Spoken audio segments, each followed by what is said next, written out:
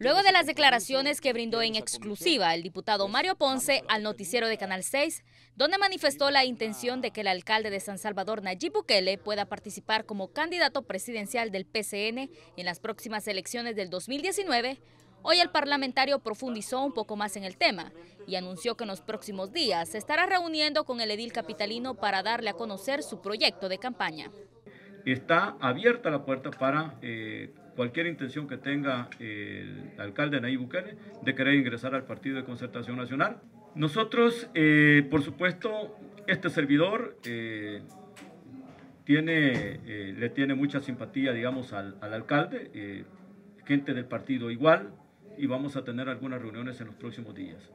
No les podemos decir qué día, pero sí vamos a reunirnos para platicar sobre el proyecto 2019. Pero Nayib Bukele no es el único que ha hecho pública su aspiración presidencial. El vicemandatario Óscar Ortiz manifestó recientemente que está abierto a participar en una precandidatura para la presidencia. Además, esta semana se conoció la renuncia de Gerson Martínez como ministro de Obras Públicas y en un video señaló que regresará con nuevos desafíos. Del FMLN hemos visto eh, ya casi dos aspirantes en el caso del ministro de, de Obras Públicas que ha renunciado y todos creemos que va para ese camino de ser precandidato a la presidencia del FMLN, igual creo que el vicepresidente lo ha dicho. De acuerdo al artículo 152 de la Constitución, no pueden ejercer la presidencia los ministros y viceministros de Estado que lo hayan sido durante el último año del ejercicio presidencial anterior al que se va a correr como candidato. El diputado René Portillo Cuadra asegura que cualquier funcionario que desee participar en una candidatura presidencial, sin importar su rango, debe someterse a lo que dicta la Constitución.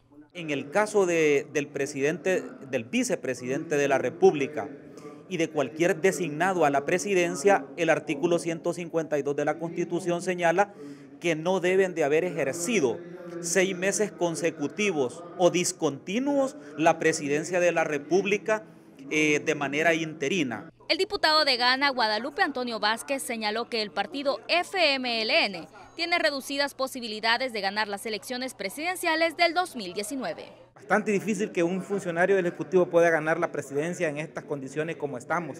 Si no vemos las encuestas, que el 60% de la población rechaza al eh, gobierno y también rechaza al principal partido de oposición para poder aspirar a la presidencia en el 2019.